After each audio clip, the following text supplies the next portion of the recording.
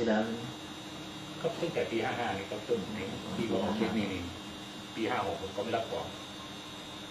แต่ทีนี้จากนั้นมาผมก็ไปหาพี่สมศักดิ์ใบเท่านี้ราคานี้นะสามร้อยยี่สิบแล้วก็แหวนเป็นเงินเงินเท่านี้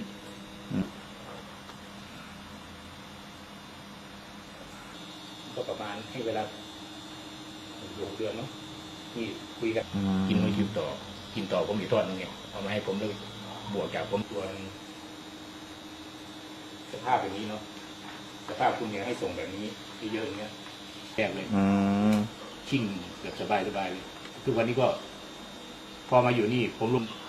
ผมก็เสียทุกสิ่งทุกอย่างเมียก็ขอหย่าลูกก็จบปริญญาโทก็หายไปเลย ลูกชายก็ ทีแรกก็มาเย็บยาคู่อีกมีปัญหากับยาคู่อีก ต้องไปนั่งเรียบเรียงดีๆฟังข้อมูลต้องไปนั่งทำงานอย่างนี้อันนี้เราจะน่าจะ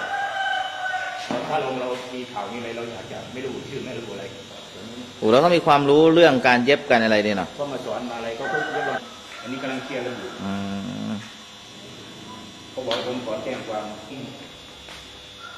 ต้องขายของพอได้เลี้ยงตัวเองด้วยกันทำงานเก็บได้ออกไหมอู้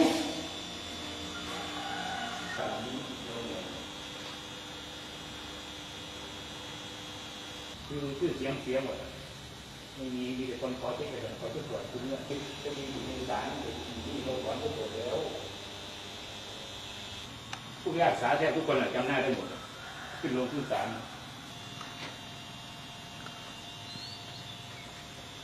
คือเขาผมไม่อยู่เขามาคล้ายๆเขามาหุ้นลมอะมันต้องเท้าความก่อนนะคล้ายๆเฮียตีกับ บูเนี่ยอีกคนนึงเนี่ยคือหนักสุดคือคนเดียวเลยนะเนาะทุกอย่างก็หลักคนเดียวก็เสร็จอันนี้เนี่ยกำลังหุ้นคนผมว่าคนลงเป็นถ้าผมขอแก้ความพัฒนาแบบนี้คือผมทำตอนนี้กำลังอยู่ระหว่าแล้วงเขาเอาไปเขาใช้งานได้นะฮะก็ใช้ไม่ได้คือทำเพื่อความสะใจตามอันนี้ผมเคลียร์เองเพราะว่าเป็นเรื่องทางด้านกฎหมายล้านบาทร้อยล้านบาทโอ้กำไรกับตัวนั้นงานผมทำงานยี่สิบปี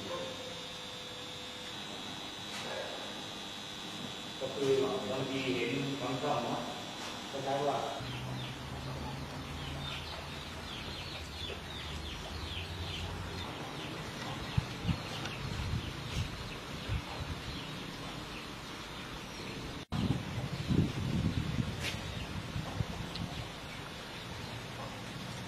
ผ่านงานแล้วไปเอามันกลับมาวนเนี่ยวนเข้าไปทำที่ทำตอนนั้น ตอนนั้นรายได้ดีมากก็รักบาทไงแต่ทีนี้ เจอเขาไหมเจอเจอคนเดียวไม่เจอเนี่ยคนเดีแล้ยววเขาบอกว่าเอาให้ไปแจ้งความอย่างผมนี้ก็แล้วว่าไม่ขอแก้คือผมรับผลิตกระเป๋า แล้วก็มีบริษัทอยู่สองบริษัท ทีนี้ไปเจองานที่มันไม่เกี่ยวกับกระทรวงทั้งหมดหรอกตั้งแต่ปีห้าสี่เป็นต้นมามาถึงปีห้าแล้วสั่งซื้อวัตถุดิบงานมันด่วนงานตัวนี้นะครับ งานกระเป๋าอสมแล้วทีนี้ผมสั่งวัตถุดิบต่างๆ เข้ามาให้บริษัทโชคปานีครับนำเข้ามาทั้งหมดครับ แล้วก็พอดีผมผลิตไปได้ คือกำหนดมันประมาณ4ีหเดือนงาน2 0 0แสนใบต้องรีบทำผลิตปั๊มปั๊มตัดเย็บก็ครึ่งหนึ่งครึ่งทางห้าสิบเปอร์เซ็นก็คือแสนใบ แล้วทีนี้ผมก็ให้ซับอย่างแม่สอด อย่างลาดหลุมแก้ว อย่างบางน้ำเปรี้ยวช่วยกันเย็บเพื่อต้องการให้จบทันกระทรวงเขาแต่กระทรวงไม่เกี่ยวครับก็คือตามที่ลูกค้าที่เขามาสั่งผมอะผมต้องทำตามดีลให้มันจบครับผมก็ทำเสร็จตัวอย่างพันห้าร้อยใบครับ ผมก็ได้เงินตรงพันห้าร้อยใบมาแล้ว ผมก็สั่งลุย พอลุยปุ๊บนี่ผมนำวัตถุดิบเข้ามาจากต่างประเทศ แล้วทีนี้พอผมผลิตไปสองหมื่นสามหมื่นกะจะส่งเขาบอก เขาบอกว่า คือผมเอาของไปส่งเขาเซ็นข้างหลังบินเนี่ยรับจ้างฝากรับฝากของไม่ใช่ว่ารับบิน ผมไม่ได้เอะใจ เพราะพอดีเราทำมาถึงจะเสร็จแล้วแสนใบเขาไม่รับของ ผมก็ต้องมาเช่าบ้าน ตั้งแต่ปี 54ตอนนี้พวกผมก็เป็นกลายเป็นว่า ไม่มีรายได้ เงินตัวเองที่สำรองชีวิตมีอยู่ประมาณ 10 ล้านไปจ้างเพื่อนๆเย็บช่วยกันเย็บใบละร้อยเกือบแสนหนึ่งเนี่ยเงินตัวเองเนี่ยคือจ่ายเงินสดไปเป็นสิบล้าน แต่ไม่ได้สิ่งที่ผมเดือดร้อนตอนนี้เพราะว่าตั้งแต่นู่นมาครอบครัวผมก็ไม่มีแล้วเรือตัวคนเดียว ทุกวันนี้เคยทำงานปีละร้อยกว่าล้าน ต้องไปขายของที่ถมมือถมมอนางรองเพื่อเอาไปขอกระเป๋าที่มันตก QC อะไรต่างๆ แล้วก็เอาผ้ามาเย็บเองไปขายพอได้อยู่เพราะช่วงช่วงนี้เศรษฐกิจไม่ดีทำงานมาตั้งแต่ปีไอ้เนี่ยมกรากุมภามีนามาเนี่ยก็ยังไม่ได้ส่วนต่างส่วนแบ่ง แล้วก็ตอนนี้งานก็ไม่มีทำครับผมอยากจะขอร้องตรงที่ว่าซัพพลายเออร์ที่ผมตีเช็คไปที่ฟ้องร้องผมอยู่ที่ศาลนะผมแบบว่าผมพยายามที่สุดแล้ว แต่ผมไม่ได้ไปไหน ผมกำลังหาวิธี เพราะว่าผมต้องไปแถลงศาลเพราะว่าผมไปศาลธนบุรีเนี่ยเดือนละ สามสี่รอบ ทุกเดือนต้องนั่งรถทัวร์ไปแล้วก็ไปกลับจากบุรีรัมย์ไปครับครับ ผมก็กล่าวว่าจะมาสู้ที่นี่ ผมก็สู้สุดๆแล้วที่นี้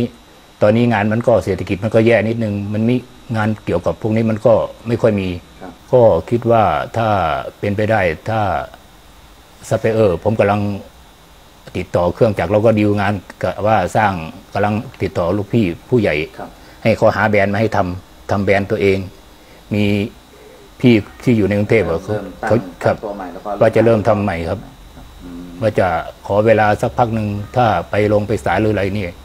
ผมก็ตั้งใจว่าจะผ่อนส่งให้ได้ทุกคน แต่ก็ยังต้องยืนยันว่าสู้ต่อไปแน่นผอนมก็สู้ต่อไปแน่นอนครับ เพราะว่าตัวจากเคยมีทุกสิ่งทุกอย่าง ตอนนี้เหลือตัวคนเดียว อาศัยตลาดนัด